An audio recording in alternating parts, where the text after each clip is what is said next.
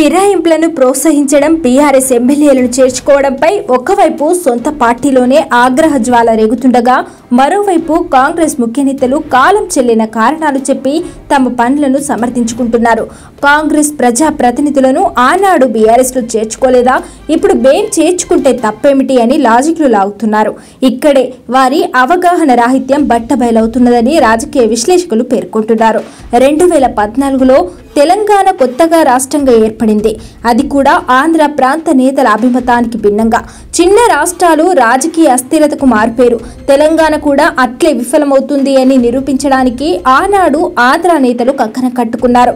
వారి కుట్రలను విఫలం చేయడానికి నాడు కేసీఆర్ కొందరిని చేర్చుకోక తప్పలేదు. అదొక ముందు జాగ్రత్త. దాన్ని నేటి పరిస్థితిలో పోర్చడానికి వీలే లేదు అని బీఆర్ఎస్ ముఖ్య నాయకుడు ఒకరు పేర్కొన్నారు. బెర్లిన్ గోడవు బద్దలు కాలేదా?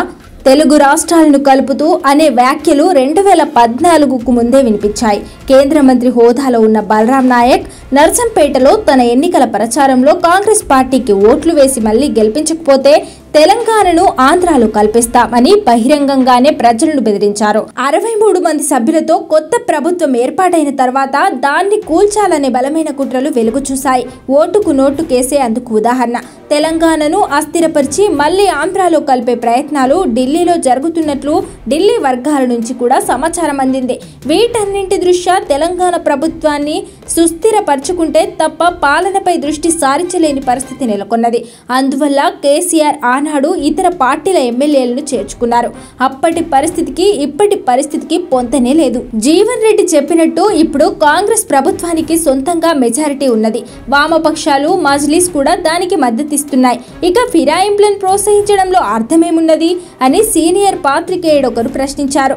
రెండు వేల పద్నాలుగులో బీఎస్పీ నుంచి గెలిచిన అల్లోల ఇంద్రకరణ్ రెడ్డి కోనేరు కోనప్ప పార్టీ శాసనసభా పక్షాన్ని బీఆర్ఎస్లో స్వచ్ఛందంగా విలీనం చేసినట్టే కాంగ్రెస్ పార్టీ నుంచి గెలిచిన ఎమ్మెల్యేలు చట్ట ప్రకారం పార్టీ శాసనసభా పక్షాన్ని బీఆర్ఎస్లో విలీనం చేయడం ఆ సమయంలో కోర్టు సైతం దాన్ని స్వేచ్ఛాయుత సమ్మతిహిత విలీనంగా వ్యాఖ్యానించిన ఉదంతాన్ని న్యాయ నిపుణుడొకరు గుర్తు చేస్తున్నారు.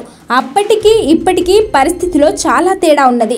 ఎమ్మెల్యేల అనర్హతకు సంబంధించిన సుప్రీంకోర్టు తీర్పు అప్పట్లో అమలులో లేదు.